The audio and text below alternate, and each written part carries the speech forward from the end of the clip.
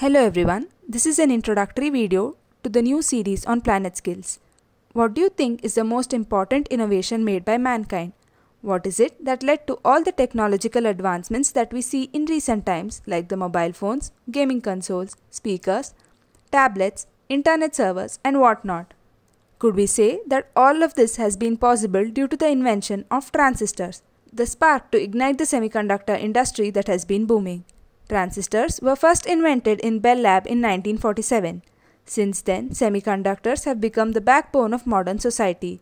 There are so many companies working in this field. I have listed only a few of them here, but there are many more. Cities densely populated by these industries got to be named after them. You must have heard of San Francisco Bay Area called the Silicon Valley and Bangalore in our own country called the Silicon City.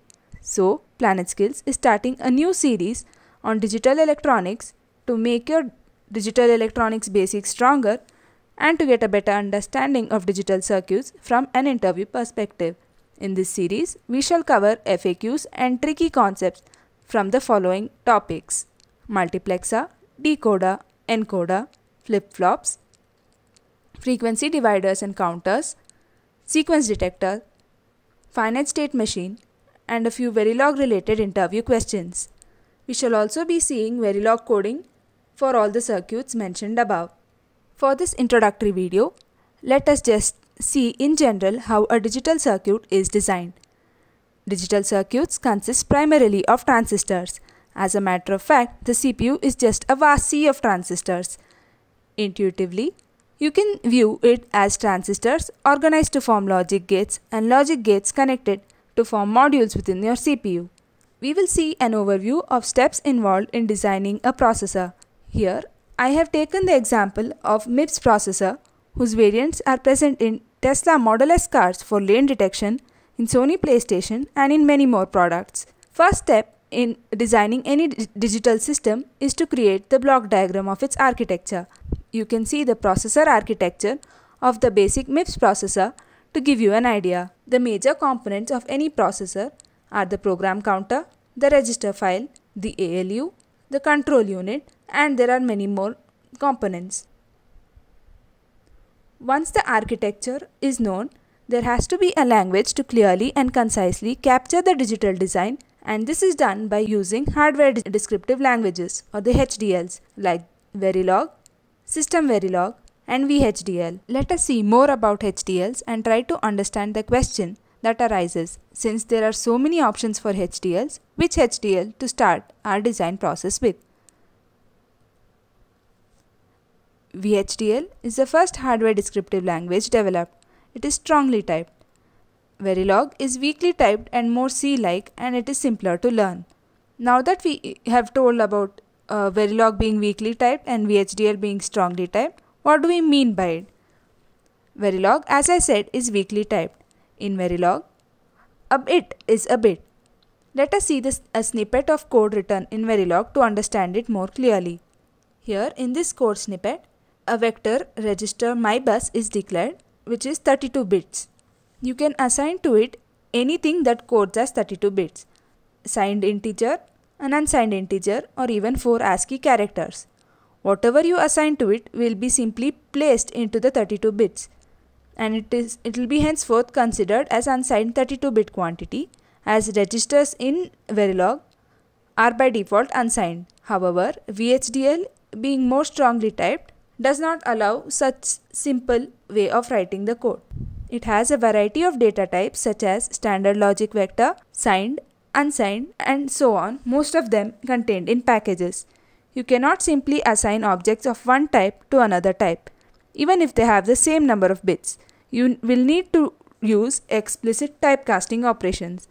This will eventually make your code in VHDL more lengthier. Most designs in industry are mixed designs with legacy codes written in VHDL and some portions of the code written in Verilog. Simulators provide support for mixed HDL designs. I also told about System Verilog being an HDL. System Verilog is a superset of Verilog and it is a hardware descriptive language as well as hardware verification language. Like Verilog, it supports module level coding and it also supports class level coding or object oriented coding. Object-oriented aspect in System Verilog is mostly used to write test benches.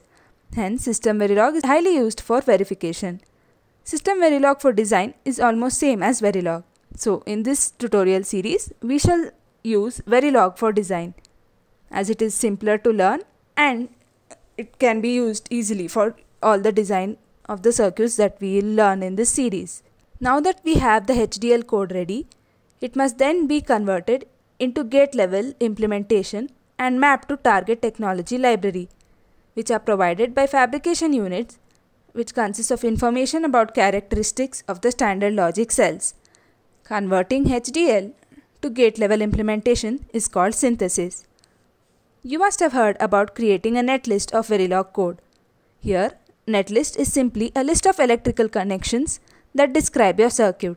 As you can see, this is a netlist of CMOS NAND gate. It specifies the process technology, node, and also connections of the transistors, the MOSFETs within your NAND gate. You can see the MOSFETs M1, M2, M3, and M4 and their connections in the order of drain terminal, gate terminal, source terminal and the body terminal. So here your netlist is simply giving the connections for all your MOSFETs and also the technology library for your MOSFET. This netlist is later used to generate the layout for your PCB. Then the transistors from the netlist are placed and routed appropriately to get the resultant PCB layout. Note that a lot of verification is involved throughout this process. I eliminated showing them in the basic representation to make them simpler. By verification, I mean functional verification, which is verifying that the design meets the functional specification or the intent of your design, and timing verification to ensure that it meets clocking or the speed requirements of the design. Now that we have seen the steps in digital system design, in this series, the approach towards every circuit shall be the same. We will first understand the question at hand, start with designing its block diagram, followed by its Verilog code. For all the topics listed in the introductory slide, you will learn how to code the circuit using Verilog and also see synthesis outputs of a few circuits. You will find answers to most frequently asked interview questions regarding those topics. As I mentioned earlier, we will be using Verilog for design and open source online EDA playground platform for simulation. If you are unfamiliar with EDA playground, I have recorded a small video to give a brief idea on using the tool. You can watch that. Let's start with the design from next video. I will try to keep the content interesting, informative and helpful for placements in VLSI front-end roles. Do like, share and subscribe to the channel and follow this series. Also, give your feedback regarding any other topic you wish to learn as a part of the series in the comment section below. Thank you.